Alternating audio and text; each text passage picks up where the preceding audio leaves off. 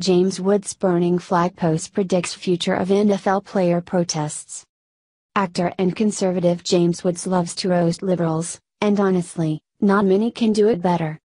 In response to all the controversy surrounding the NFL and players kneeling during the Star Spangled Banner, Woods posted a cartoon to Twitter that encapsulated the controversy that is destroying the league's brand.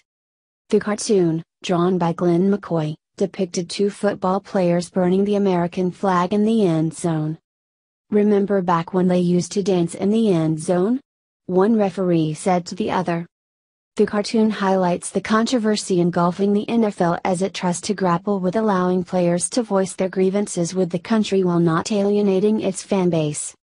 The NFL, which has a rule for just about everything, including how players can behave in the end zone, seems to have no opinion regarding how players can effectively trash the American flag. It makes no sense, and everyone knows it, except leadership within the NFL. Should networks choose not to air the national anthem to avoid offending any fans, players could decide to take their form of protest to the end zone. After scoring a touchdown, players could take a knee or, heck, even burn a flag.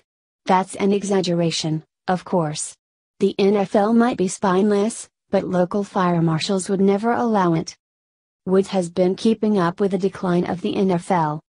Advertisement, story continues below.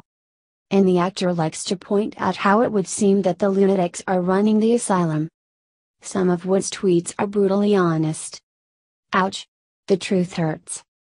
If you want a daily dose of conservatism, following Woods on Twitter never disappoints. Please like and share this story on Facebook and Twitter to spread the word about how James Woods' latest tweet roasts the NFL. NFL.